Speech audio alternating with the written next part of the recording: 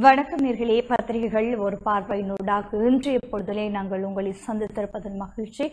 புலர்ந்தெடுக்கக்கூடிய இன்றைய பொழுது உங்கள் அனைவருக்கும் சந்தோஷமான பொழுதாக அமைய வேண்டும் என்று சொல்லி எல்லோருக்கும் பொதுவான இறைவனை பிரார்த்தித்துக் கொண்டு இன்றைய நாள் உங்களுக்கு நல்லதொரு பொழுதாக அமைய வேண்டும் என்று சொல்லிக்கொண்டு இன்று முதலாம் தேதி ஆகஸ்ட் மாதம் இரண்டாயிரத்தி இருபத்தொன்று ஞாயிற்றுக்கிழமையாக காணப்படுகிறது. புதிய மாதத்திலே நாங்கள் கால் பதித்திருக்கின்றோம். இந்த மாதம் முழுவதுமே எங்களுக்கு ஒரு வெற்றி மிகுந்த மாதமாகவும் அதே நேரத்தில் சந்தோஷம் மிகுந்த மாதமாகவும் அமைய வேண்டும் என்று சொல்லியும் எல்லோருக்கும் பொதுவான இறைவனை பிரார்த்தித்துக் கொண்டு நாங்கள் பத்திரிகைகள் ஒரு பார்வைக்குள் செல்ல போகின்றோம். அந்த வகையில் பத்திரிகைகளிலே காணப்படக்கூடிய முதற்பக்க செய்திகளிலே பிரதான தலைப்புச் செய்திகளை நாங்கள் பார்க்கலாம்.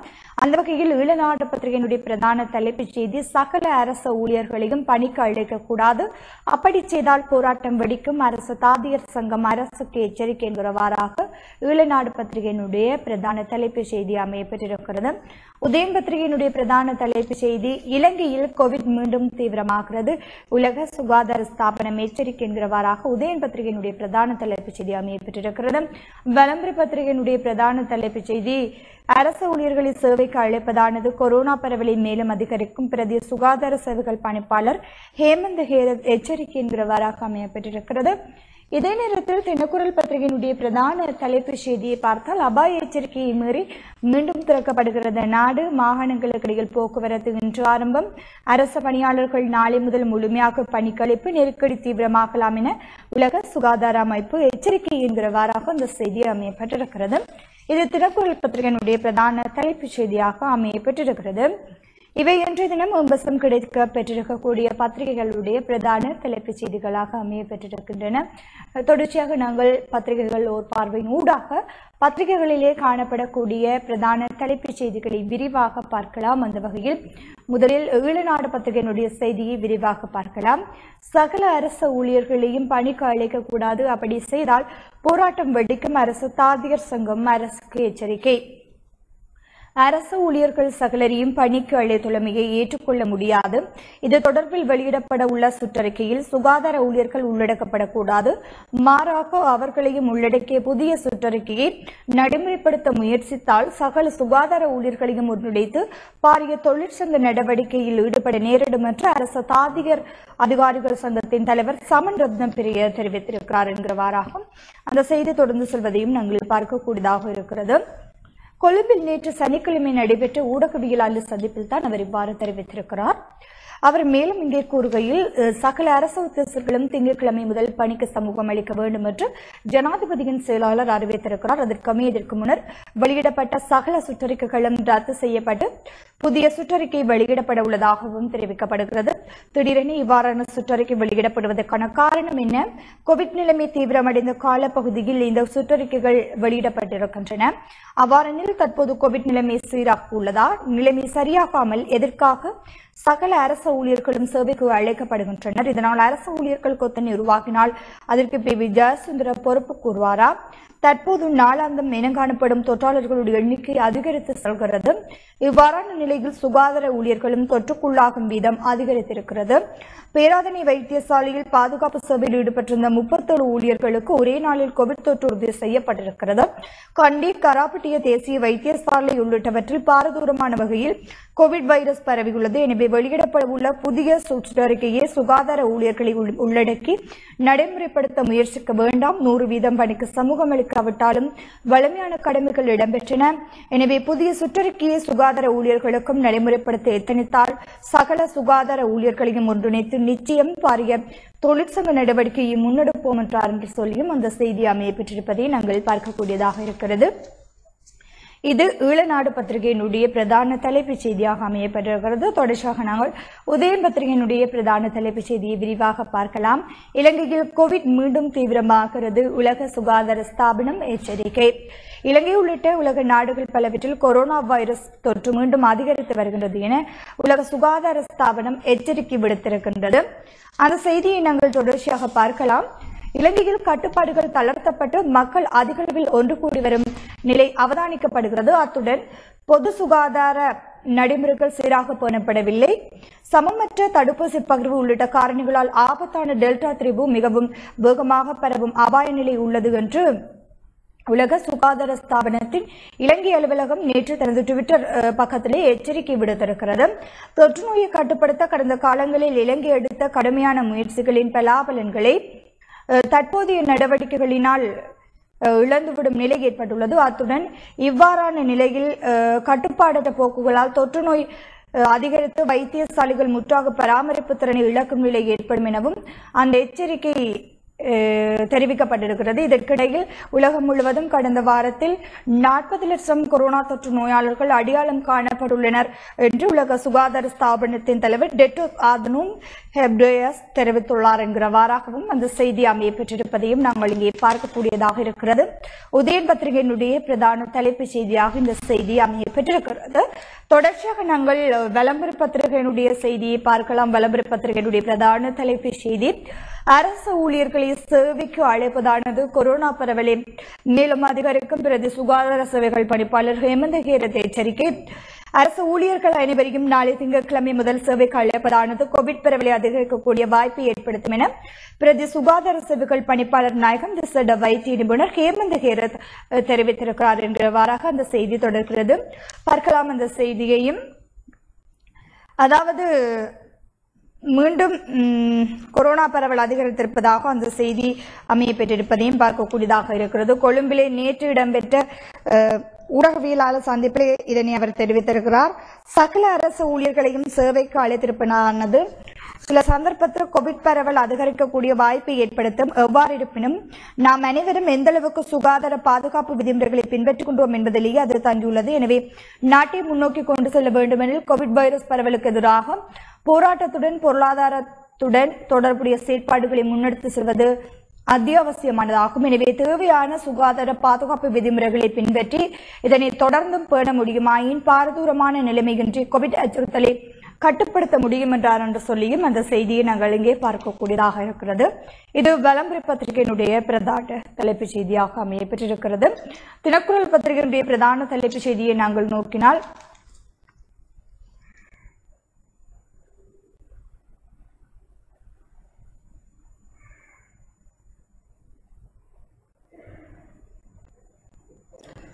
தினக்குரல் பத்திரிகையினுடைய பிரதான தலைப்பு செய்தி அபாய எச்சரிக்கையை மீறி மீண்டும் திறக்கப்படுகிறது. நாடு மாகாணங்களுக்கு இடையில் போக்குவரத்து இன்று ஆரம்பம். அரசு பணியாளர்கள் நாளை முதல் முழுமையாக பணிக்கு அழைப்பு.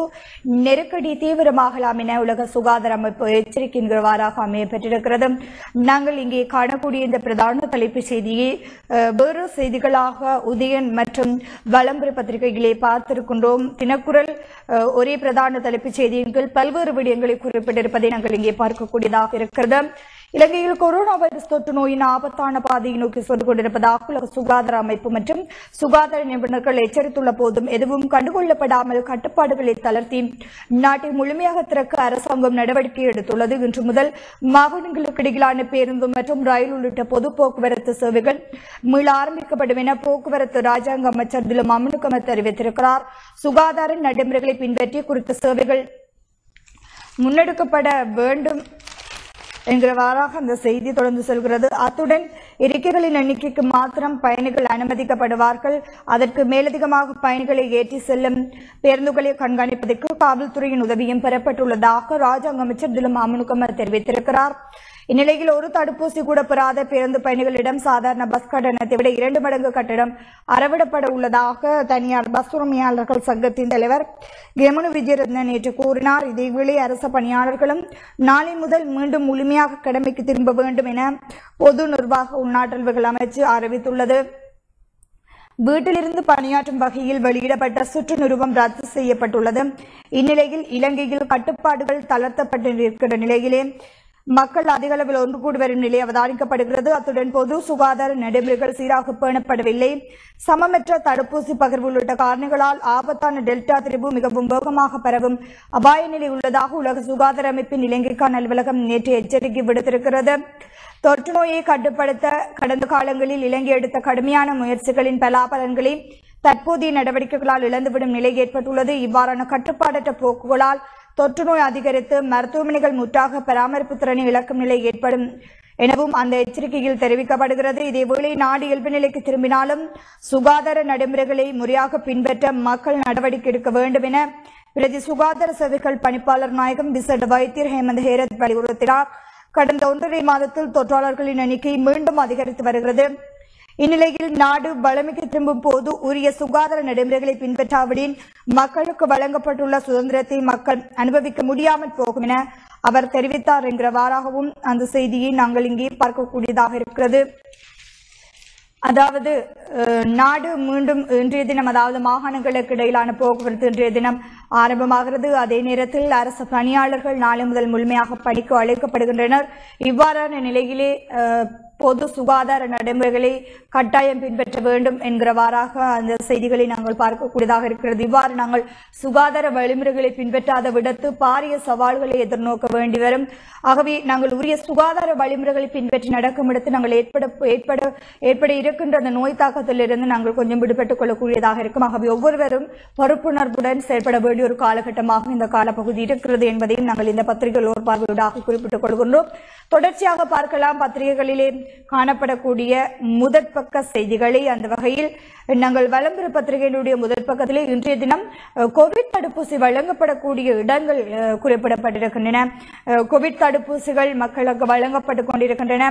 அந்த வகையிலே கோவிட் தடுப்பூசி இன்றைய தினம் எந்தெந்த இடங்களில் போடப்படுகிறது என்பது தொடர்பான விவரங்களையும் நாங்கள் இங்கே பார்க்கக்கூடியதாக இருக்கிறது. அந்த வகையில் இங்கே விளம்பர பத்திரிகையில் நாங்கள் அதனை பார்க்கக்கூடியதாக இருக்கிறது. கோவிட் தடுப்பூசி போடக்கூடிய இடங்கள் எங்கெங்கே போடப்படுகின்றன என்பது தொடர்பாகத்தான் அந்த செய்தியையும் நாங்கள் இங்கே பார்க்கக்கூடியதாக இருக்கிறது.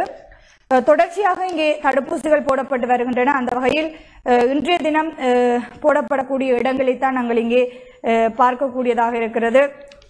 தொடர்ச்சியாக பார்க்கலாம். இன்றைய தினம் இந்த செய்தி தினக்குரல் பத்திரிகையிலும் இடம் பிடித்திருக்கிறது.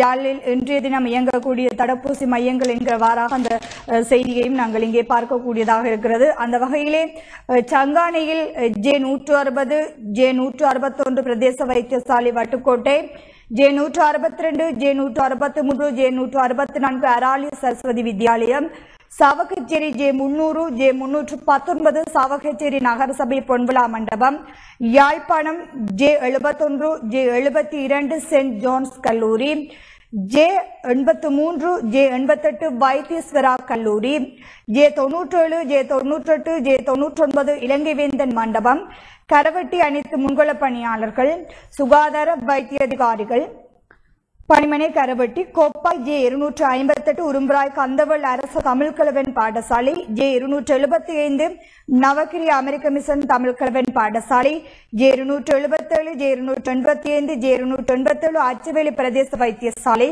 கல்வியற் கல்லூரி மற்றும் வங்கி பணியாளர்கள் கோப்பாய் பிரதேச வைத்தியசாலை மருதங்கேணி கற்பவதி தாய்மார் மருதங்கேணி பிரதேச வைத்தியசாலை.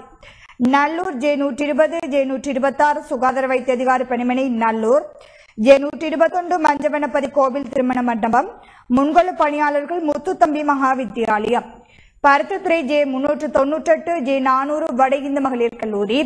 சண்டிலிப்பாய் ஆனக்கோட்டை பொது சுகாதார வைத்தியதிகார பிரிவினர் பிரதேச வைத்தியசாலை மானிப்பாய் சண்டிலுப்பாய் பொது சுகாதார வைத்தியதிகாரி பிரிவினர் சண்டிலுப்பாய் இந்து கல்லூரி இளவாளி பொது சுகாதார வைத்தியதிகாரி பிரிவினர் விளான் ரோமன் கத்தோலிக்க தமிழ்கலவன் பாடசாலை தெல்லிப்பளை ஜே இருநூற்று முப்பத்தாறு ஜே இருநூற்று முப்பத்தெட்டு ஜூனியன் கல்லூரி காலை எட்டு மணி முதல் ஜே இருநூற்று முப்பத்தொன்பது ஜே இருநூற்று நாற்பத்தொன்று ஜூனியன் கல்லூரி முற்பகல் பத்து மணி முதல் ஜே இருநூற்று முப்பத்தி நான்கு ஜே இருநூற்று முப்பத்தி ஐந்து ஊரணி கனிஷ்ட வித்யாலயம் காலை எட்டு மணி முதல்.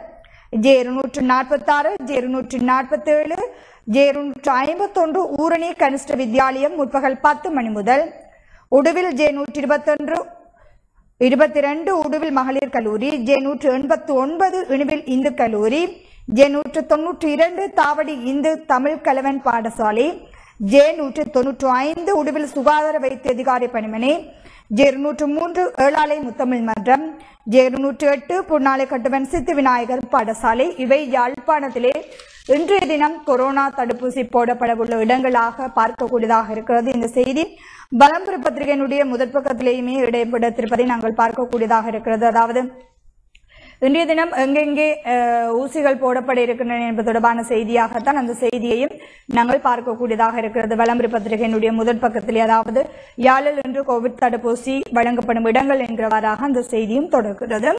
தொடர்ச்சியாக நாங்கள் பார்க்கலாம். ஈழநாடு பத்திரிகையினுடைய முதற் பக்கத்திலே காணப்படக்கூடிய செய்திகளை. இங்கே நாங்கள் இங்கே பார்க்கின்ற பொழுது அதாவது ஏற்கனவே பார்த்திருந்தோம் பிரதான தலைப்புச் செய்தியோடாக தடுப்பூசி ஏற்றுக் கொள்ளாதவர்களுக்கு இரண்டு மடங்கு கட்டணம் மறவிட முடிவு தனியார் பஸ் உரிமையாளர் சங்கம் தெரிவித்திருக்கிறது. அதாவது எந்த ஒரு தடுப்பூசி அதாவது இரண்டு டோஸ்களில் எந்த ஒரு டோஸையும் பெறாதவர்களுக்கு பேருந்து கட்டணங்களின் போது அந்த பேருந்து கட்டணங்களை விட இரண்டு மடங்கு பணத்தை அறுவிடுவதற்கு கட்டணத்தை அறுவிடுவதற்கு முடிவு செய்யப்பட்டிருப்பதாகவும் இங்கே நாங்கள் தனியார் பஸ் உரிமையாளர் சங்கத்தினுடைய தலைவர் கெமனு விஜயரத்னன் தெரிவித்திருப்பதையும் பார்க்கக்கூடியதாக இருக்கிறது. இந்த செய்தியை நாங்கள் ஏற்கனவே தினக்குரல் பத்திரிகையினுடைய பிரதான தலைப்பு செய்தி ஊடாக பார்த்திருந்தோம். ஆகவே தொடர்ச்சியாக பார்க்கலாம் ஏனைய செய்திகளை. கொரோனா தொற்றால் மேலும் அறுபத்தொரு பேர் மரணம். நாட்டில் மேலும் அறுபத்தொரு பேர் கொரோனா வைரஸ் தொற்றால் உயிரிழந்துள்ளனர். சுகாதார சேவைகள் பணிப்பாளர் நாயகத்தின் உறுதிப்படுத்தலுடன் அரசு தகவல் திணைக்களம் விடுத்துள்ள அறிக்கையில் இந்த தகவல் வெளியிடப்பட்டிருக்கிறது. இதற்கமைய நாட்டிலே பதிவான மொத்த கொரோனா மரணங்களுடைய எண்ணிக்கை நான்காயிரத்து நானூற்று நாற்பத்தி ஒன்றாக அதிகரித்திருக்கிறது என்கிறவாறாகவும் அந்த செய்தி தொடர்கிறது. அமைச்சர் டலசன் தனிமைப்படுத்தலில் மின்சக்தி அமைச்சர் டலஸ் அழகப்பெரும கொழும்பில் உள்ள அவரது வீட்டில் தனிமைப்படுத்தப்பட்டிருக்கிறார். அவரது அமைச்சர் அலுவலக அதிகாரிகள் இருவருக்கு கொரோனா வைரஸ் தொற்று உறுதிப்படுத்தப்பட்டதை அடுத்து அவர் தனிமைப்படுத்தப்பட்டுள்ளார். தான் நலமுடன் இருப்பதாக அமைச்சர் டலஸ் அழகப்பெரும தெரிவித்துள்ளார் என்கிறவாறாகவும் அந்த செய்தி தொடர்கிறது. இதே நேரத்தில் இரண்டாயிரத்து நானூற்று நான்கு கர்ப்பிணி தாய்மார் தொற்றினால் பாதிப்பு பதினான்கு பேர் உயிரிழப்பு. இலங்கையில் கொரோனா தொற்று பாதிப்பை ஏற்படுத்தி முதலாவது அலையிலிருந்து இதுவரையான காலப்பகுதியில் இரண்டாயிரத்து நானூற்று நான்கு கர்ப்பிணி தாய்மாருக்கு தொற்று உறுதியாக உள்ளதாக குடும்ப நல சுகாதார பணியகம் தெரிவித்திருக்கிறது. அதன் பணிப்பாளர் சித்ரமாலிடி சில்வா இவ்வாறு தெரிவித்திருக்கிறார் என்கிறவாறாகவும் அந்த செய்தி பார்க்கக்கூடியதாக இருக்கிறது. அதாவது இரண்டாயிரத்து நானூற்று நான்கு கர்ப்பிணிகள் இதுவரை தொற்றினால் பாதிக்கப்பட்டிருக்கிறார்கள்.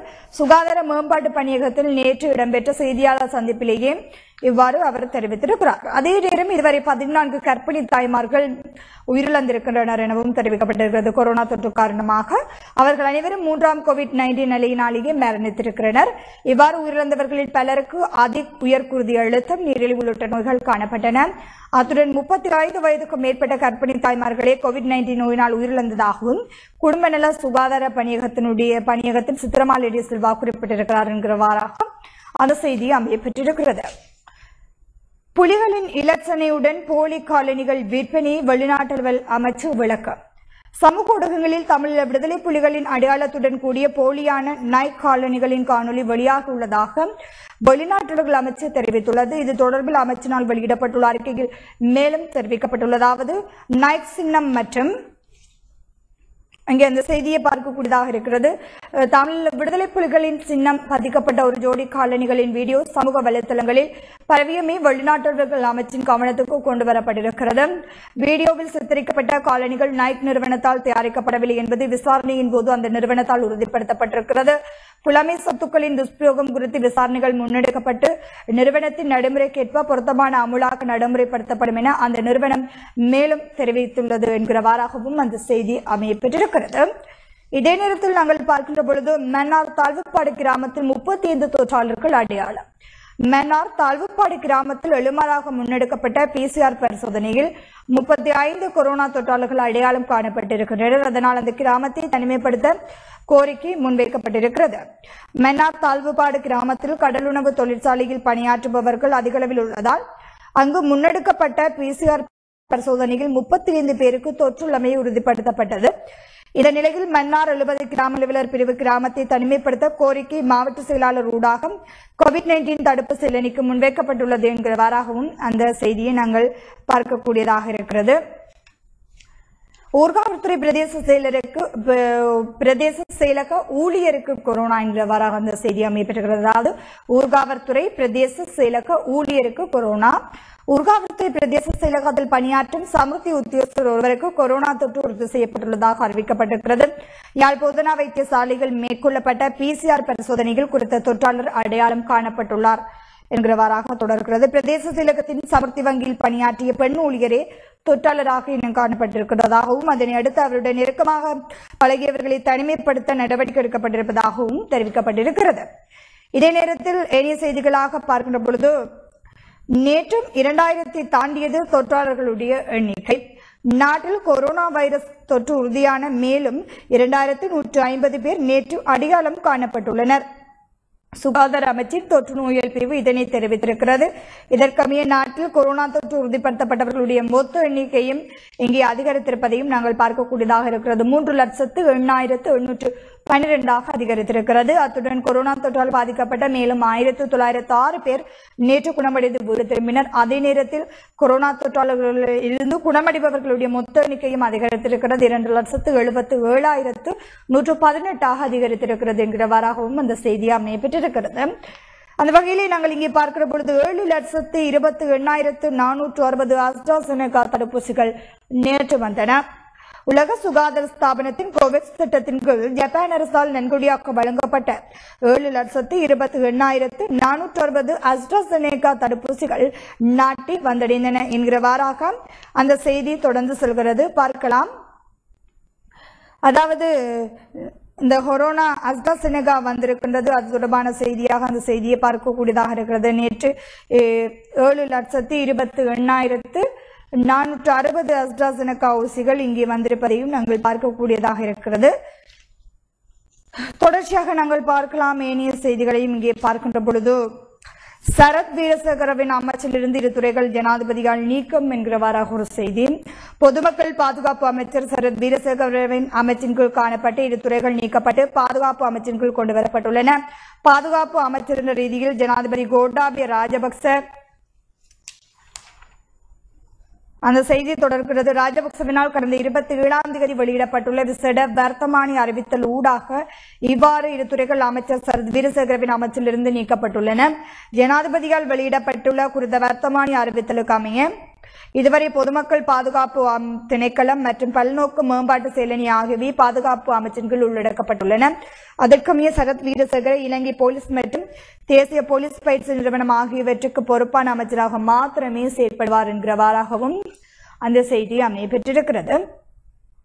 வவுனியாவில் ஏழு வயது சிறுமி கிணற்றில் இருந்து சடலமாக மீட்பு. வவுனியா கனகராயன்குளம் போலீஸ் பிரிவுக்குட்பட்ட ஆலங்குளம் பகுதியில் கிணற்றில் இருந்து ஏழு வயது சிறுமியின் சடலம் மீட்கப்பட்டுள்ளது. குறித்த சிறுமியின் பெற்றோர் வீட்டில் இல்லாத வழி அவர் அயல் வீட்டுக்கு சென்றுள்ளார். எனினும் நீண்ட நேரமாகியும் சிறுமியை காணாத நிலையில் அயல் வீட்டார் தேடியுள்ளனர். இதன்போது அருகிலுள்ள கிணற்றில் சிறுமி விழுந்துள்ளமை கண்டுபிடிக்கப்பட்டது. சிறுமி உடனடியாக மீட்கப்பட்டு வவுனியா பொது வைத்தியசாலையில் சேர்க்கப்பட்டார். எனினும் சிகிச்சை பலனின்றி அவர் மரணமடைந்துள்ளார். சம்பவத்தில் ஆலங்குளம் பகுதியைச் சேர்ந்த நிஷாந்தி என்ற ஏழு வயது சிறுமியே மரணமடைந்துள்ளார். இது தொடர்பில் கனகராயன் குளம் போலீசார் விசாரணைகளை மேற்கொண்டு வருகின்றனர் என்கிறவாறாகவும் அந்த செய்தி அமையப்பெற்றிருப்பதையும் நாங்கள் பார்க்கக்கூடியதாக இருக்கிறது. இவை இன்றைய தினம் இளநாடு பத்திரிகையினுடைய முதற் பக்கத்திலே காணப்படக்கூடிய செய்திகளாக அமையப்பெற்றிருக்கின்றன. உதயன் பத்திரிகையினுடைய முதல் பக்கத்திலே காணப்படக்கூடிய செய்திகளை பார்க்கின்ற பொழுது அபாயகரமான சூழ்நிலையில் நாட்டை மீண்டும் திறக்கும் முடிவில் மாற்றம் பெறலாம் என்கிறவாறாக ஒரு செய்தியை பார்க்கலாம். அந்த செய்தியை கொரோனா தொற்றின் தீவிரத்தால் நாட்டை நாளை மீண்டும் திறக்கும் முடிவில் மாற்றங்கள் ஏற்படலாம் என்று ராஜாங்க அமைச்சர் விசேட வைத்திய நிபுணர் சுதர்ஷினி பெர்னாண்டோ பிள்ளை தெரிவித்திருக்கிறார். அவர் மேலும் தெரிவிக்கையில் நாட்டை மீண்டும் திறக்கும் முடிவை எடுத்த போது இருந்த சூழ்நிலை தற்போது இல்லை. இந்த வாரத்திலேயே கொரோனா நோயாளர்களுடைய எண்ணிக்கை அதிகரித்திருக்கிறது. நிலவும் அபாயகரமான சூழ்நிலையில் எந்த முடிவுகளாக இருந்தாலும் கவனமாக எடுக்கப்பட வேண்டும் என்கிறவாறாகவும் அந்த செய்தி அமைய பெற்றிருப்பதையும் நாங்கள் பார்க்கக்கூடியதாக இருக்கிறது. இதே நேரத்தில் நாங்கள் கருதி பார்த்த பல செய்திகளையும் பார்க்கக்கூடியதாக இருக்கிறது. அந்த வகையிலே தொடர்ச்சியாக இணைய செய்திகளை பார்க்கலாம். மோட்டார் சைக்கிளில் இருந்து விழுந்த முதியவர் உயிரிழப்பு. அவருக்கு முன்னெடுத்த சோதனையில் கொரோனா தொற்று உறுதியானது என்கிறவாறாக ஒரு செய்தி. மோட்டார் சைக்கிளில் பயணித்துக் கொண்டிருந்த முதியவர் திடீரென தடுமாறி விழுந்த நிலையில் யாழ் போதனா மருத்துவமனையில் சிகிச்சை பயனளிக்காமல் நேற்று அதிகாலை உயிரிழந்தார். அங்கு அவருக்கு மேற்கொள்ளப்பட்ட பிசிஆர் பரிசோதனையில் அவருக்கும் கொரோனா தொற்று இருப்பது உறுதி செய்யப்பட்டிருக்கிறது. சுதுமலை மற்றும் உரும்புராய் வதிவிடமாக கொண்ட அறுபத்தி மூன்று வயதுடையவரே இவ்வாறு உயிரிழந்திருக்கிறார். குறித்த நபர் யாழ்ப்பாணம் போதனா மருத்துவமனையில் உறவினர் ஒருவரை பார்வையிட்டு விட்டு நேற்று மதியம் ஒன்று நாற்பத்தி ஐந்து மணியளவில் வீடு திரும்பியிருக்கிறார். யாழ்ப்பாணம் சிவலிங்க புலியடி சந்தியில் பயணித்த போது அவர் திடீரென மோட்டார் சைக்கிளால் வீதியில் விழுந்துள்ளார். அவலக்குரல் எழுப்பிய அவரை அந்த பகுதியை சேர்ந்தோர் மீட்டு யாழ்ப்பாணம் போதுனா மருத்துவமனையை சேர்த்தனர். அவருக்கு மேற்கொள்ளப்பட்ட ஆன்டிஜென் பரிசோதனையில் கொரோனா தொற்று இருப்பது உறுதிப்படுத்தப்பட்டது என்கிறவாறாகவும் அந்த செய்தி அமையப்பட்டிருக்கிறது அதாவது மோட்டார் சைக்கிளில் இருந்து விழுந்த முதியவர் உயிரிழப்பு. அவருக்கு முன்னெடுத்த சோதனையில் கொரோனா தொற்று உறுதியானது. இதே நேரத்தில் ஏற்கனவே பார்த்திருந்தோம் கொரோனா தொற்றினால் அறுபத்தொரு பேர் சாவு என்கிறவாறாக அது தவிர்ந்த வீட்டு திட்ட விவகாரம் இறுதிப்பட்டியலில் இருந்து முன்னூற்று நான்கு பயனாளிகள் மாற்றம் முறைகேடுகள் குளறுபடிகள் தொடர்ந்து அம்பலம். யாழ்ப்பாணம் மாவட்டத்தில் நடைமுறைப்படுத்தப்பட உள்ள வீட்டு திட்டத்துக்கான பயனாளிகள் தெரிவில் முறைகேடுகள் குளறுபடிகள் குழப்பங்கள் இடம்பெற்றுள்ளமை உறுதியாக உள்ளது. இறுதிப்பட்டியல் ஒன்று பிரதேச செயலாளர்களால் சமர்ப்பிக்கப்பட்ட மூலப்பட்டியலில் இருந்து தற்போது வரையில் முன்னூற்று நான்கு பயனாளிகளின் பெயர்கள் மாற்றப்பட்டு மீண்டும் ஒரு உறுதிப்பட்டியல் பிரதேச செயலர்களால் மாவட்ட செயலகத்துக்கு சமர்ப்பிக்கப்பட்டுள்ளது. கிராமிய வீடமைப்பு நிர்மாணத்துறை மற்றும் கட்டடப் பொருட்கள் தொழில் மேம்பாட்டு ராஜாங்க அமைச்சால் யாழ்ப்பாணம் மாவட்டத்தில் பத்து லட்சம் மற்றும் ஆறு லட்சம் ரூபாய் பெறுமதியான இரண்டு வகையான வீட்டுத் திட்டங்கள் முன்னெடுக்கப்பட உள்ளன. இவற்றுக்குரிய பயனாளிகள் தெரிவு மார்ச் மாதம் இடம்பெற்றது. ஏப்ரல் மாதம் பிரதேச செயலகங்கள் கிராம அலுவலர்கள் பிரிவுகளில் தெரிவு செய்யப்பட்ட பயனாளிகளின் பட்டியல் காட்சிப்படுத்தப்பட்டது. மக்களிடமிருந்து முறைப்பாடுகள் கிடைக்கப்பெற்றால் அது தொடர்பில் பிரதேச செயலகத்திலும் முறைப்பாடுகளை பரிசீலனை மேற்கொள்ளும் குழு அமைக்கப்பட்டு ஆராயப்பட்டது. அதற்கு அமைவாக தயாரிக்கப்பட்ட இறுதிப்பட்டியல் பிரதேச செயலர்களின் ஒப்பந்தத்துடன் ஏப்ரல் ஒப்பத்துடன் ஏப்ரல் மாத இறுதியில் யாழ்ப்பாணம் மாவட்ட செயலகத்துக்கு அனுப்பி வைக்கப்பட்டது.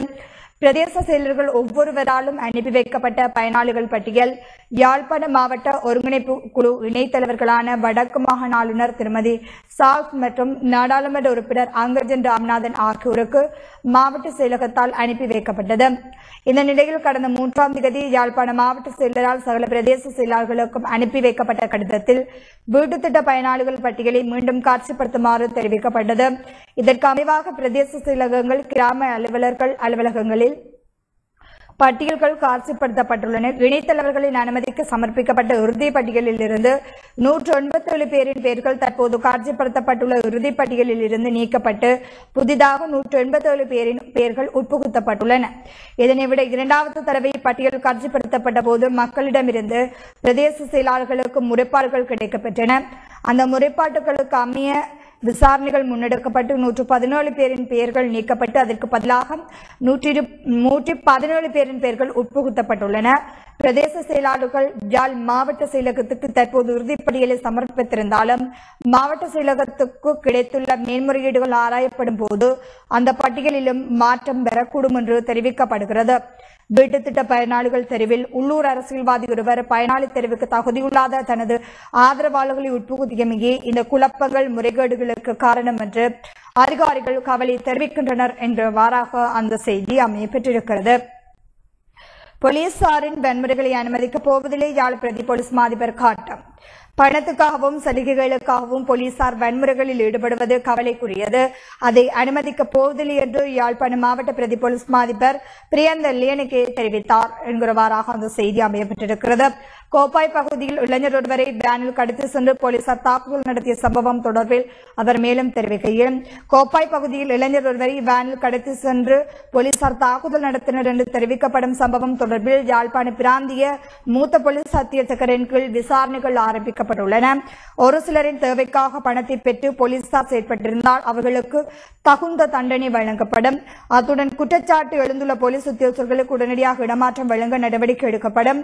யாழ்ப்பாண மாவட்ட மாவட்டத்தில் மட்டுமல்ல நாடு முழுவதும் அமைதியையும் இனங்களுக்கிடையில் நல்லிணக்கத்தையும் கட்டியெழுப்ப போலீசார் தமது கடமையை செய்து வரும் நிலையில் இவ்வாறான சில போலீஸ் அதிகாரிகளும் உத்தியோகர்களும் தவறான வகையில் செயற்படுகின்றமை வருந்தத்தக்கது என்றார் என்றும் அந்த செய்தி அமையப்பட்டிருக்கிறது இதே நேரத்தில் இங்கே அது தொடர்பான மற்றொரு செய்தி பார்க்கலாம். பிடியாணை பிறப்பிக்கப்பட்ட நபருடன் மதுவிருந்தில் கோப்பாய் போலீசார் என்கிறவாறாக ஒரு செய்தி.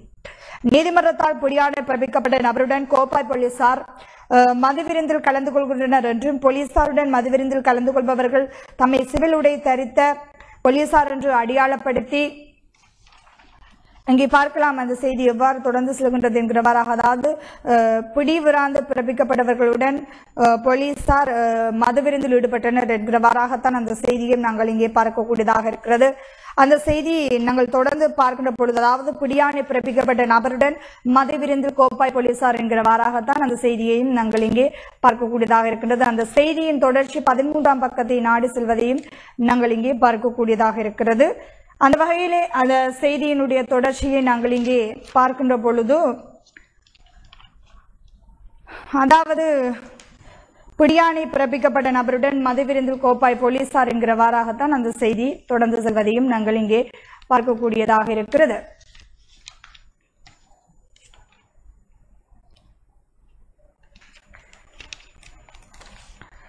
அந்த செய்தியினுடைய தொடர்ச்சியை பொதுமக்களை அச்சுறுத்துகின்றனர் என்றும் குற்றம் சாட்டப்படுகிறது. இது தொடர்பில் மேலும் தெரிய வருவதாவது கடந்த வியாழக்கிழமை ஹயஸ்ட் ரக வாகனத்தில் வந்த போலீஸ் சிறுடை மற்றும் சிவில் உடையில் இருந்த கும்பல் இளைஞர் ஒருவரை கடத்தி சென்று சித்தவரை புதிந்து கை துப்பாக்கியால் தாக்கி வீதியில் வீசிவிட்டு சென்றவை தொடர்பில் முன்னெடுக்கப்பட்ட மேலதிக விசாரணையில் குறித்த கடத்தலுக்கு பயன்படுத்தப்பட்ட ஐம்பத்தி ஆறு ஓ ஓ ஓ இலக்க வாகனம் என்பது தெரிய வந்தது அந்த வாகனம் உரும்பராய் பகுதியை சேர்ந்தவருக்கு சொந்தமானது. குறித்த வாகன உரிமையாளர் பல்வேறு குற்றச்செயல்களுடன் தொடர்புடையவர் என்ற சந்தேகத்தில் நீதிமன்றில் வழக்குகள் நிலுவையில் உள்ள நிலையில் வழக்கு தவணைகளுக்கு செல்லாத காரணத்தால் நீதிமன்றத்தால் பிடியாணை பிறப்பிக்கப்பட்டுள்ளது. அந்த நபர் கோப்பை போலீசாருடன் மிக நெருங்கிய தொடர்புகளை கொண்டுள்ளார். குறித்த நபர் தனது நண்பர்களுடன் கோப்பை போலீஸ் நிலையத்துக்கு பின்புறமாக உள்ள வீடொன்றில் போலீசாருடன் மது விருந்துகளில் கலந்து கொள்வார். தனது நண்பர்கள் தமக்கு தேவையானோருடன் முரண்பட்டுக் கொண்ட நபர்களின் வீடுகளுக்கு மதுபோதையில் வாகனத்தில் போலீசாரை அழைத்து சென்று அவர்களை தாக்குவது மிரட்டுவது போன்ற போன்ற வேலைகளிலும் ஈடுபட்டு வந்துள்ளார். இப்படியான ஒரு பின்னணியிலேயே மேற்படி இளைஞனும் கடத்தப்பட்டு தாக்கப்பட்டுள்ளார். போலீசாரின் இத்தகைய செயற்பாடுகள் குறித்து கோப்பாய் போலீஸ் நிலைய பொறுப்பதிகாரிக்கு பல தடவைகள் தெரியப்படுத்திய போதிலும் அவர் அது தொடர்பில் கண்டுகொள்ளாது இருந்தார் என்றும் குற்றம் சாட்டப்படுகிறது. குறித்த இளைஞன் தாக்குதலுக்குள்ளான நிலையில் கடந்த வியாழக்கிழமை மனித உரிமை ஆணைக்குழுவில் முறைப்பாடு செய்தார். அது தொடர்பில் ஊடகங்களில் செய்திகள் வெளிவந்த நிலையிலும் நேற்று முன்தினம் இரவும் குறித்த நபருடன் போலீசார் மதுவிருந்தில் கலந்து கொண்டுள்ளனர். அத்துடன் கடந்த ஒரு வார காலப்பகுதிக்குள் கோப்பாய் போலீசாரினால் மனித உரிமைகள் மீறப்பட்டுள்ளன என்று மனித உரிமை ஆணைக்குழுவுக்கு நான்கு முறைப்பாடுகள் கிடைக்கப்பட்டுள்ளன அவை நான்கும் உரிம்பராய் பகுதியை சேர்ந்தவர்களால் வழங்கப்பட்ட முறைப்பாடுகள் என்கிறவாறாக அந்த செய்தியையும் நாங்கள் இங்கே பார்க்கக்கூடியதாக இருக்கிறது. அதாவது பிடியாணி பிறப்பிக்கப்பட்ட நபருடன் மது விருந்தில் கோப்பாய் போலீசார் என்கிறவாறாக அந்த செய்தி. காலை மாலை மட்டுமே மாகாண போக்குவரத்து என்கிறவாறாக ஒரு செய்தி. மாகாணங்களுக்கு இடையிலான பொது போக்குவரத்து சேவை இன்று முதல் மீள ஆரம்பிக்கப்பட உள்ளன. எனினும் ஆரம்ப கட்டமாக காலை மற்றும் மாலை நேரங்களில் மட்டுமே போக்குவரத்து சேவைகள் முன்னெடுக்கப்பட உள்ளன என்று போக்குவரத்து ராஜாங்க அமைச்சர் திலும் அமனுக்கம தெரிவித்தார். அவர் மேலும் தெரிவிக்கையில் நாட்டில் கொரோனா பரவல் மிகவும் கடுமையாக பரவி வருகிறது என சுகாதார அதிகாரிகள் எச்சரித்துள்ளதை அடுத்து பகல் நேர பொது போக்குவரத்து சேவைகளை இடைநிறுத்துவதற்கு தீர்மானிக்கப்பட்டுள்ளது. சுகாதார வழிகாட்டுதலுக்கு அமைவாக பஸ் மற்றும் ரயில் சேவைகளை இன்று முதல் முன்னெடுக்க தீர்மானிக்கப்பட்டுள்ளது. நாளை திங்கட்கிழமை முதல் அனைத்து ஊழியர்களும் பணிக்கு அழைக்கப்பட்டுள்ள நிலையில் அவர்களுக்கு சேவைகளை வழங்க பொது போக்குவரத்து சேவைகள் இன்று மீண்டும் ஆரம்பிக்கப்படுகின்றன. சுகாதார வழிகாட்டுதல்களுக்கு அமைய பஸ்களின் இருக்கைகளின் எண்ணிக்கை மட்டும் பயணிகளை கொண்டு செல்லுமாறு இலங்கை போக்குவரத்து சபைக்கு அறிவுறுத்தப்பட்டுள்ளது என்கிறவாறாகவும் அந்த செய்தி அமைய பெற்றிருப்பதையும் நாங்கள் பார்க்கக்கூடியதாக இருக்கிறது. செஞ்சோலையில் நடந்த விமான குண்டு வீச்சில் ஐம்பதுக்கும் மேற்பட்ட சிறார்கள் கொல்லப்பட்டது. உண்மையே அரசு சாட்சி பரபரப்பு சாட்சியம். இலங்கை விமானப்படையினர் முல்லைத்தீவு செஞ்சோலை சிறுவர் மீது கடந்த இரண்டாயிரத்தி ஆறாம் ஆண்டு ஜூன் மாதம் நடாத்திய தாக்குதலில் பதினெட்டு வயதிலும் குறைந்த ஐம்பதுக்கும் அதிகமான சிறார்கள் கொல்லப்பட்டது என்கிறவாறாக அந்த செய்தி தொடர்ந்து செல்வதையும் நாங்கள் பார்க்கக்கூடியதாக இருக்கிறது. அதாவது ஐம்பதுக்கும் அதிகமான சிறார்கள் கொல்லப்பட்டது உண்மையே என்கிற வாராக அந்த செய்தியையும் நாங்கள் பார்க்கக்கூடியதாக இருக்கிறது. அந்த செய்திகளில் சிறுவர்கள் கொல்லப்பட்டனர் என்று முல்லைத்தீவு மாவட்ட முன்னாள் மருத்துவ அதிகாரி கைலநாதன் சுதர்ஷன் கொழும்பு நீதிமன்றத்தில் சாட்சியம் அளித்தார் தமிழ் தேசிய கூட்டமைப்பின் முன்னாள் நாடாளுமன்ற உறுப்பினர் கனகரத்னத்தின் மகனான ஆதித்யன் உள்ளிட்ட மூவருக்கு எதிராக தொடரப்பட்டுள்ள பாகிஸ்தான் முன்னாள் உயர்ஸ்தானிகர் கொலை முயற்சி வழக்கில் குறுக்கு விசாரணைகளின் போது ஜனாதிபதி சட்டத்தரணி கே வி தவராசாவின் கேள்விகளுக்கு பதிலளிக்கையிலேயே மேற்படி விடயத்தை அவர் வலியுறுத்தினார். பாகிஸ்தான் முன்னாள் உயர்ஸ்தானிகர் பசீர் வலி முகமடி கொலை செய்ய சதித்திட்டம் தீட்டியதாக சட்டமா அதிபரால் பிரதிவாதியாக பெயரிடப்பட்டு கனகரத்னம் ஆதித்யனுக்கு எதிராக தொடரப்பட்டுள்ள வழக்கு கடந்த ஜூலை பத்தொன்பது இருபத்தி ரெண்டு இருபத்தி ஐந்து இருபத்தேழு மற்றும் இருபத்தி எட்டாம் தேதிகளில் கொழும்பு மேல் நீதிமன்ற நீதிபதி முகமது இஸ்தீன் முன்னிலையில் விசாரிக்கப்பட்டது. இதன்போது முறைப்பாட்டாளரான சட்டமா அதிபர் சார்பில் சிரேஷ்ட அரசு சட்டவாதி விராட் வீரசூரிய முன்னிலையானார். மூன்றாம் பிரதிவாதியான ஆதிஜியன் சார்பில் சட்டத்தரணி தர்மராஜாவின் அனுசரணையில் சட்டத்தரணி ஆர்னோல் பிரியந்துடன் ஜனாதிபதி சட்டத்தரணி கே வி தவராசா முன்னிலையாகி குறுக்கு விசாரணைகளை முன்னெடுத்தார். இரண்டாயிரத்தி ஆறாம் ஆண்டு இலங்கைக்கான பாகிஸ்தான் உயர்ஸ்தானிகராக கடமையாற்றிய பசீர் வலி முகமட்டை கொலை செய்ய சதித்திட்டம் தீட்டி இரண்டாயிரத்தி ஆறாம் ஆண்டு ஆகஸ்ட் மாதம் பதினான்காம் தேதி குண்டு தாக்குதல் நடத்தி ஏழு சிப்பாய்களுக்கு மரணத்தையும் மேலும் பத்து பொதுமக்களுக்கு கடும் காயத்தையும் ஏற்படுத்தியதாக கூறி சட்டம் அதிபரால் இந்த வழக்கு தொடரப்பட்டுள்ளது. இருபத்தி ஐந்து குற்றச்சாட்டுகளின் கீழ் இந்த வழக்கு தாக்கல் செய்யப்பட்டது.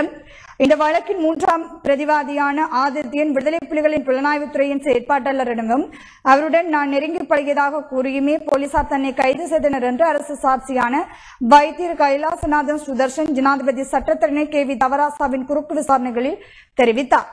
இந்த வழக்கில் சம்பவத்தை உறுதியடுத்து சில சாட்சியங்களை அழைக்க வேண்டியுள்ளதாக நீதிமன்றில் விண்ணப்பம் செய்யப்பட்டது.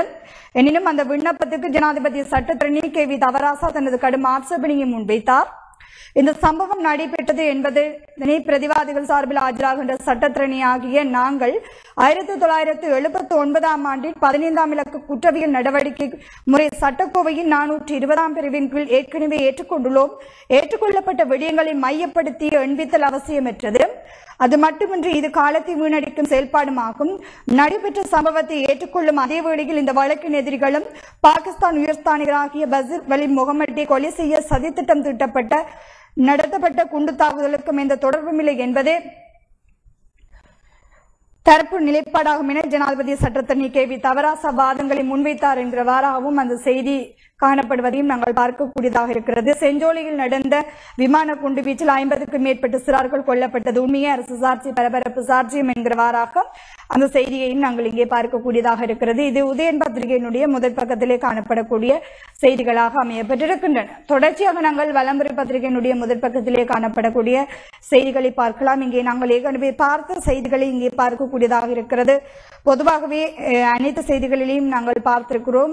வித்தியாசமான செய்தியாக நாய் குறுக்கே பாய்ந்ததால் விபத்து குடும்பஸ்தர் பலி யாழ்ப்பாணத்தில் பரிதாபம்.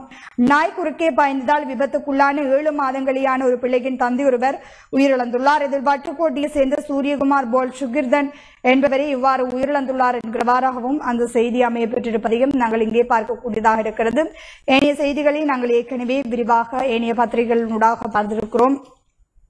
அந்த வகையில் ஏனைய செய்திகளாக நாங்கள் இங்கே பார்க்கின்ற பொழுது அதாவது தொற்று உயிரிழப்பு தொடர்கிறது உயர்கிறது என்கிறவாறாக அது கொரோனா தொற்று தொடர்பான செய்தியாக அமைய பெற்றிருக்கிறது இனிய செய்திகளாக இரண்டு கைகளிலும் எனக்கு தடுப்பூசி போட்டது உண்மையே. யாழில் பாதிக்கப்பட்ட பெண் தெரிவிப்பு. சென்ட் ஜோன்ஸ் கல்லூரியில் அண்மையில் அமைக்கப்பட்ட தடுப்பூசி மையத்தில் எனக்கு இரண்டு கைகளிலும் ஒரே நாளில் தடுப்பூசி போடுறார்கள் என தடுப்பூசியை பெற்ற வயோதிப பெண் தெரிவித்தார். நேற்று சனிக்கிழமை அவரது வீட்டில் ஊடகவியலாளர்களை சந்தித்த போதே தனக்கு இரண்டு தடுப்பூசிகள் போடப்பட்டதாக அவர் தெரிவித்திருக்கிறார் என்கிறவாறாகவும் அந்த செய்தி அமையப்பட்டிருக்கிறது மாறி மாறி இரு கைகளிலும் போடப்பட்டதாக அவர் கூறினார். தடுப்பூசி மையத்தில் எனக்கு ஒரு கையில் தடுப்பூசி ஏற்றப்பட்ட நிலையில் எனக்கு ஊசி போட்டவர் அதன் பின்னர் யாரோ ஒருவருடன் தொலைபேசியில் உரையாடி கொண்டிருந்தார். நான் போகலாமா என அவரிடம் இரண்டு தடவைகளுக்கு மேல் கேட்டேன். அவர் பதில் சொல்லாமல் தொலைபேசியில் பேசிக்கொண்டே சென்றார். நான் அவ்விடத்திலேயே இருக்க அங்கு வந்த இன்னொரு உத்தியோகர் அம்மா கையை காட்டுங்கள் என்று கூறியபடி இன்னும் ஒரு தடுப்பூசியை மறுகையில் போட்டுவிட்டார் என தெரிவித்தார். ஊசி போட்ட சிறு நேரத்தில் எனக்கு தலை சுற்றுவது போல் உணர்வு ஏற்பட்டது. அங்கிருந்த வைத்தியர்களிடம் இதனை சொன்னேன். சற்று அமர்ந்து ஓய்வெடுத்து விட்டு செல்லுமாறு அவர்கள் கூறினார்கள். எனது மகளுடன் வீடு செல்லும் போது எனக்கு இரண்டு கைகளிலும் ஊசி போடப்பட்டதை கூறினேன். அதிர்ச்சியடைந்த மகள் அவ்வாறு இரண்டு ஊசி ஒரே நேரத்தில் போடக்கூடாது என கூறி நடந்த சம்பவத்தை எனது மகனிடம் தெரிவித்தார். தடுப்பூசி ஒன்றா இரண்டா ஏற்றுவது என்ற விடயம் எனக்கு தெரியாது. மகனை அழைத்துக் கொண்டு தடுப்பூசி வழங்கப்பட்ட விதம் தொடர்பில் அறிவதற்காக சென்றேன். முதல் உள்ளே விட மறுத்துவிட்டார்கள் பின்னர் வைத்தியரை சந்திக்க அனுமதித்தார்கள். நடந்த சம்பவத்தை வைத்தியரிடம் எனது மகன் விவரமாக சொன்னார். எங்கள் முன்னிலையில் அங்கு கடமையில் இருந்த வைத்தியர் கையெடுக்க தொலைபேசிகளை கடமையின் போது பாவிக்காதீர்கள் என அறிவுரை வழங்கினார். ஏதேனும் வித்தியாசமான உணர்வுகள் ஏற்பட்டால் தம்மை தொடர்பு கொள்ளுமாறு அவர்கள் அறிவுறுத்தினார். அறிவுறுத்தி என்னை அனுப்பி வைத்தனர். மறுநாள் எனது வீடு தேடி வைத்தியர் ஒருவர் வந்து எனது உடல்நலம் குறித்து விசாரித்து சென்றார் எனவும் அப்பன் கூறினார்.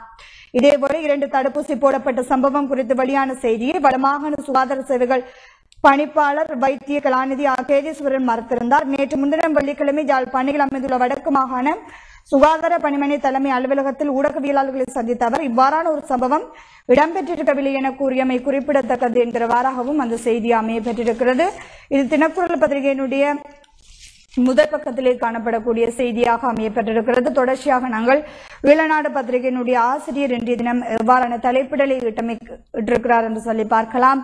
கூட்டமைப்பின் அடுத்த தலைவர் என்கிறவாறாக ஒரு செய்தி. பல்வேறு விமர்சனங்கள் இருந்தாலும் கூட இன்றைய நிலையில் தமிழ் தேசிய கூட்டமைப்பே தமிழ் மக்களின் பிரதான தலைமை என்னும் இடத்தை பெற்றிருக்கிறது. தமிழ் தேசியத்தை பிரதித்துவப்படுத்தி மேலும் இரு கட்சிகள் இருந்தாலும் கூட தமிழ் தேசிய கூட்டமைப்பே ராஜதந்திர சமூகத்தினரால் அங்கீகரிக்கப்பட்ட ஒரே ஒரு தலைமையாக இருக்கிறது. இதற்கு ஒப்பீட்டு அடிப்படையில் கூட்டமைப்பு பெரும்பான்மையான மக்களின் ஆதரவை பெற்றிருப்பதே பிரதான காரணமாகும். அதேவேளை கூட்டமைப்பு தமிழ் மக்கள் மத்தியில் மேலும் பலவீனப்படமாக இருந்தால் தமிழ் மக்களின் பேரம் பேசும் ஆற்றல் மேலும் பலவீனமடையும். தமிழ் தேசியத்தை பாதுகாக்க முயற்சிக்கும் எவருமே கூட்டமைப்பை முற்றிலுமாக சிதைக்க விரும்ப மாட்டார்கள். இந்த அடிப்படையிலே கூட்டமைப்பின் அடுத்த தலைமை தொடர்பான கேள்விகள் எழுந்திருக்கின்றன. சம்பந்தன் இருக்கின்ற போதே கூட்டமைப்பின் தலைமை தொடர்பில் சிந்திக்க வேண்டும். தமிழ் தேசிய அரசியல் நோக்குநர்கள் மத்தியில் இவ்வாறானதோர் அபிப்பிராயம் எழுந்திருக்கிறது. தமிழர் தாயகத்தில் இயங்கி வரும் அரசியல் செயற்பாட்டாளர்கள் பலர் இது தொடர்பில் தங்கள் தகவல்களை வெளியிடுவதை ஈழநாட்டால் அறிந்து கொள்ள முடிகிறது. சம்பந்தனை பொறுத்தவரையில் அவர் அனைவராலும் ஏற்றுக்கொள்ளப்படுகிறார். சில முரண்பாடுகள் இருந்தாலும் பங்காளி கட்சிகளின் தலைவர்கள் எவருமே சம்பந்தனின் தலைமைத்துவத்தோடு ஒருபோதும் முரண்பட்டதில்லை. இதற்கு அவரின் வயதும் அனுபவமும் அங்கீகாரமுமே பிரதான காரணங்களாகும். ஆனால் சம்பந்தனுக்கு அடுத்தது யார் என்னும் கேள்வி எழும்போது அவரிடமும் தெளிவான பதில் இல்லாமல் இருப்பதை அவதானிக்க முடிகிறது. கூட்டமைப்பின் தலைமைத்துவத்துக்கு வருபவர் நிச்சயம் கூட்டமைப்பை ஒரு கூட்டமைப்பாக பாதுகாக்கக்கூடியவராக இருக்க வேண்டும். அதேவேளை பங்காளி கட்சிகளால் முரண்பாடின்றி ஏற்றுக்கொள்ளக்கூடியவராகவும் இருக்க வேண்டும். இந்த பின்னணியில் சிந்தித்தால் தற்போதைய நிலையில் ஒரே ஒரு வழி மட்டுமே இருக்கிறது. இலங்கை தமிழரசு கட்சியே கூட்டமைப்பின் தாய் கட்சி. கூட்டமைப்பின் அந்த கட்சி பிரந்துவப்படுத்திய சம்பந்தன் கூட்டமைப்பின் தலைவராக இருக்கிறார். அவருக்கு பின்னர் யார் என்று சிந்திக்கும் போது நாம் மேலே குறிப்பிட்டவாறான தகுதிகளுடன் இருக்கும் ஒருவர் மாவே சேனாதிராசா மட்டுமே. பங்காளி கட்சிகளின் தலைவர்கள் மத்தியில் மாவே சேனாதிராசாவுடன் முரண்பாடுகள் காணப்படவில்லை. வயது நீண்டகால அரசியல் வாழ்வு அனைத்து தலைவர்களுடனும் பாரபட்சமில்லாமல் பழகக்கூடிய தகுதி நிலை இப்படியான பண்புகளுடன் மாவே சேனாதிராசா மட்டுமே இருக்கிறார். மாவே சேனாதிராசாவை புறந்தள்ளி புரிதொருவரை சிந்திக்க முடியுமாக? சிந்திக்கலாம். ஆனால் கூட்டமைப்பு கூட்டமைப்பாக இருக்குமா என்பதே கேள்வி. தமிழரசு கட்சியில் கூட்டமைப்பில் அங்கம் வகிக்கும் வேறு எவராலும் மாவையை பிரதியீடு செய்ய முடியாத மேலும் பங்காளி கட்சிகளாலும் ஏற்றுக்கொள்ளக்கூடிய ஒருவர் கூட்டமைப்பின் தலைவராக இருந்தால் மட்டும்தான் கூட்டமைப்பை தொடர்ந்து முன்கொண்டு செல்ல முடியும். இல்லாவிட்டால் நிச்சயம் சம்பந்தனுக்கு பின்னர் கூட்டமைப்பு சிதைவடைவதை தடுக்க முடியாது. இதனை கருத்தில் கொண்டே கூட்டமைப்பின் தலைமைத்துவம் தொடர்பில் அனைவரும் சிந்திக்க வேண்டும். கூட்டமைப்பின் தலைமை என்பது வெறுமனே தமிழரசு கட்சியின் கூட்டமைப்பின் விவகாரம் அல்ல மாறாக இது தமிழ் தேசிய இனத்தின் பிரச்சினை. தமிழ் தேசிய இனத்தின் அரசியல் எதிர்காலம் தனிப்பட்ட அரசியல் முரண்பாடுகளை புறம் தள்ளி அனைவரும் சிந்திக்க வேண்டிய இடம் இது என்கிறவாறாகவும் அந்த செய்தி அமைய அதாவது ஆசிரியர் தலையங்கம் அமையப்பட்டிருக்கிறது. கூட்டமைப்பின் அடுத்த தலைவர் என்று கேள்விக்குறி எழுப்பி அந்த ஆசிரியர் தலையங்கத்தை பார்க்கக்கூடியதாக இருக்கிறது. இவை இன்றைய தினம் விமர்சம் கிடைக்கப்பெற்ற பத்திரிகைகளுடைய பிரதான தலைப்புச் செய்திகள் மற்றும் முதற்பக்கத்திலே காணப்படக்கூடிய செய்திகளாக அமையப்பட்டிருக்கின்றன. இத்துடன் பத்திரிகைகள் ஒரு பார்வை நிறைவுக்கு வருகிறது. தொடர்ந்தும் டான்ஸ் செய்திகளோடு இணைந்திருங்கள்.